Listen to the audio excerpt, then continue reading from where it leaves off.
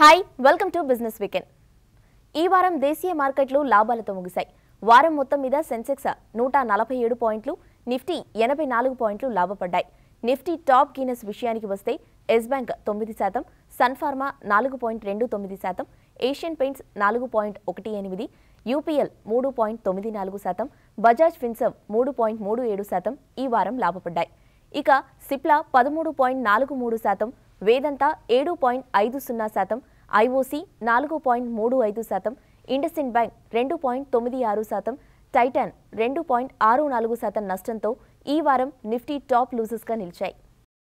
ఇక ఈ వారం మార్కెట్లపై విశ్లేషణ అలాగే వచ్చే వారం మార్కెట్లు ఎలా ఉండొచ్చు మీడియం టర్మ్లో ఏ ఏ సెక్టర్స్లో పెట్టుబడులు పెట్టొచ్చు అనే అంశంపై కార్వి ఫండమెంటల్ ఎర్నలిస్ట్ అరవింద్ విశ్లేషణను ఇప్పుడు చూద్దాం. సో ఈ వారం మనం మార్కెట్స్ కొద్దిగా ఫ్లాటిష్ ట్రెండ్లో మనకు కొద్దిగా వల్టిలిటీ కనబడినా కూడా ఐ థింక్ కొద్దిగా స్టెబిలైజ్ అవుతున్న ట్రెండ్ని మనం గమనించామండి. Mainly because of oil prices అండి. మనకు oil prices below seventy five వచ్చేసరికి కొద్దిగా ఇంతకుముందు మనం ఏదైతే కంపెనీస్లో కొద్దిగా ఏదైతే నెగిటివ్ రిజల్ట్స్ నెగిటివ్ మార్జిన్స్ ఏదైతే చూసామో ఇన్ఫాక్ట్ మార్జిన్ కంప్రెషన్ ఏదైతే చూసామో అది కొద్దిగా ఈజ్ ఆఫ్ అవుతుంది కాబట్టి ఆయిల్ మార్కెటింగ్ కంపెనీలు కానివ్వండి అండ్ పెయింట్ కంపెనీస్ కానివ్వండి ఇలాంటి కంపెనీస్ అన్ని ఆయిల్ రిలేటెడ్ ఏదైతే రా మెటీరియల్ లాగా ఇన్పుట్ ఉంటుందో ఇన్పుట్ ఆయిల్ ఉంటుందో అలాంటి స్టాక్స్ అన్నీ కూడా కొద్దిగా పాజిటివ్గా రియాక్ట్ అవ్వడం చూస్తున్నామండి. అండ్ మార్కెట్స్ అనేది కొద్దిగా ఈ రేంజ్ బౌండ్లో ఉండే అవకాశం అయితే డెఫినెట్లీ కనబడుతుందండి. ఇంతకుముందు మనము last quarter in fact last year గురించి మాట్లాడుకుంటే దెర్ ఆర్ మెనీ థింగ్స్ అండి. మ్యాక్రోస్ దగ్గర నుంచి డిమాటేషన్ ఆఫ్టర్ ఎఫెక్ట్స్ జిఎస్టీ కానివ్వండి. There are many like you know అక్కడ ట్రిగ్గర్ అవ్వడానికి చాలా events కనబడ్డాయండి. But this year starting from now onwards and కొద్దిగా చూసుకున్నా కూడా మనకి there were and there are many issues అండి. మనకి మెయిన్ ఇష్యూ వచ్చేసి మెయిన్ ఈవెంట్ వచ్చేసి ఎలక్షన్స్ అనేది మెయిన్ ఈవెంట్ లాగా కాబోతుందండి. సో ఆ అదే కోవలో కొద్దిగా ప్రెషర్ అయితే డెఫినెట్లీ కనబడుతుందండి. మార్కెట్స్ కూడా వల్టిలిటీ మనం we have to face that volatility అండి. దాంతోపాటు మనకి ట్రేడ్ వార్స్ గురించి కూడా మాట్లాడుతూ వస్తున్నామండి. ఇక్కడ కొద్దిగా ఇండియా ఇమ్యూన్ అయినా కూడా ఇలాంటి వాటికి సెంటిమెంట్ పాజిటివ్ అవుతుందండి. సో ఇది ఒక దృష్టిలో పెట్టుకొని మనం I think we can start buying అనేది చెప్తారండి ఎస్పెషల్లీ మిడ్ క్యాప్స్లో మిడ్ అండ్ స్మాల్ క్యాప్స్లో వాల్యుయేషన్ మనకు బిలో ఫైవ్ ఇయర్ యావరేజ్ కంటే ట్రేడ్ అవుతున్నాయండి. రెండు స్టాక్స్ కూడా mid and small caps. But ఈ రెండిట్లో చూస్ చేసుకోవడం ఎలాంటి స్టాక్స్ చూస్ చేసుకోవాలి అని అంటే I think my vote would be towards mid cap అండి. బికాస్ వాల్యుయేషన్స్ ఉన్నాయి and at the same time there are many quality stocks trading you know below their averages అండి. అండ్ బిలో దేర్ మనకి two years average చూసుకున్నా కూడా below that average trade అవుతూ వస్తున్నాయి. And ఫండమెంటల్స్లో there is nothing change అండి. Especially నా ఇప్పుడు ఈ పాయింట్ ఆఫ్ టైంలో ఏదైనా పిక్ చేసుకోవాలని అనుకుంటే paint companies like Asian Paints కానివ్వండి పిడిలైట్ కూడా చాలా అట్రాక్టివ్గా కనబడుతుందండి. మొన్న రిజల్ట్స్ కూడా అనౌన్స్ చేశారు. కొద్దిగా మార్జిన్ ప్రెషర్ కనబడింది కొద్దిగా స్టాక్ కూడా కొద్దిగా అలా రియాక్ట్ అవ్వడం చూసాం మనం. సో ఇలాంటి టైంలో మనకి Pidilite is a better better అని చెప్తానండి. అండ్ అదే కోవలో మనకి డీమార్ట్ కూడా it's a kind of a defence stock అండి. ఇలాంటి టైంలో I think we should use it for averaging అని చెప్తానండి. మంచి ప్రైస్ పాయింట్లో అవైలబిలిటీ ఉందండి మనకి డీమార్ట్ అండ్ డీమార్ట్తో పాటు వీమార్ట్ కూడా కొద్దిగా మంచి ప్రైస్ పాయింట్లో అవైలబుల్ ఉందండి. ఈ రెండిట్లో మీరు మీ కంఫర్ట్ని బట్టి చూస్ చేసుకోవాలండి. అట్ ద సేమ్ టైం మనం ఇట్లాంటి టై- టైంలో ఫార్మా కూడా పిక్ చేసుకోవాలండి. అండ్ బయోకాన్ కూడా చాలా అట్రాక్టివ్గా కనబడుతుంది. Anywhere between thirty to forty percent return కోసం బయోకాన్ కూడా అక్యుములేట్ చేయమని చెప్తానండి. అండ్ దాంతోపాటు ఐటీ రంగంలో కూడా ఒక కపుల్ ఆఫ్ స్టాక్స్ సెలెక్ట్ చేసుకోమంటానండి. నా బెటర్ బెట్ అండి any point of time Tata Elxsi ఒకటి సెలెక్ట్ చేసుకోమని చెప్తానండి. ఐటీ సెక్టర్ నుంచి. ఇక మూరత్ ట్రేడింగ్లో మీ అభిమాన ఎర్నలిస్టులు ఇచ్చిన TV five Muhurat special recommendations ఇప్పుడు చూద్దాం. టూ స్టాక్స్ చెప్తున్నానండి. ICICI bank and Reliance Industries అనమాట ఎందుకంటే ఇక్కడి నుంచి కూడా thirty to forty percent returns ఈజీగా ఇస్తే రెండు స్టాక్స్ అని అనుకున్నా మిడ్ క్యాప్ స్టాక్స్లో మాత్రం ఫస్ట్ సోర్స్ ఒకటి అనమాట లుక్స్ వెరీ అట్రాక్టివ్ అనమాట 57 ఫస్ట్ rupees లో. సొల్యూషన్స్ అనమాట అరౌండ్. ఫిఫ్టీ సెవెన్ ఉంది. ఓకే అదే రెండు మిడ్ క్యాప్ డాబూర్ అండ్ ఇది కూడా అనమాట డాబర్, 365 సువెన్ లైఫ్ సైన్సెస్. కూడా బాగుంటాయి అని చెప్పేసి. డబుల్ అవుతుందా ఇది?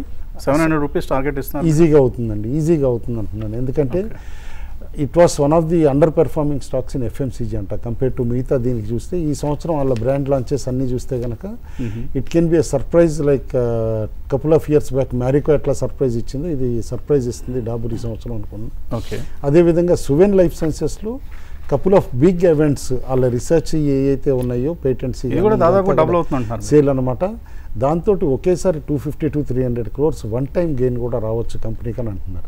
ఆ event definitely six months to nine మంత్స్లో ప్లే అవుతుంది అంటున్నారు కాబట్టి ఈజీగా ఉంది.